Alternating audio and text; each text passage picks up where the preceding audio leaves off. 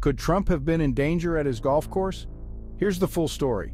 Former President Donald Trump is safe after gunshots rang out near him at Trump International Golf Club in West Palm Beach, Florida.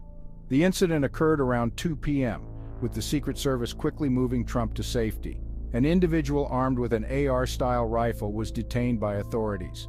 Initial investigations suggest no direct targeting of Trump, but the situation is being treated with utmost seriousness. The Secret Service, alongside local authorities and the FBI, are actively investigating the incident.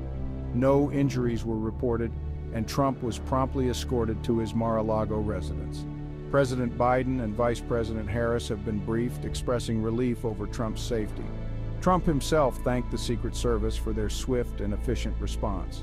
This incident highlights the ongoing security risks faced by political figures. The investigation is ongoing as authorities seek to uncover the motives behind this alarming event. Stay tuned for more updates as this story develops.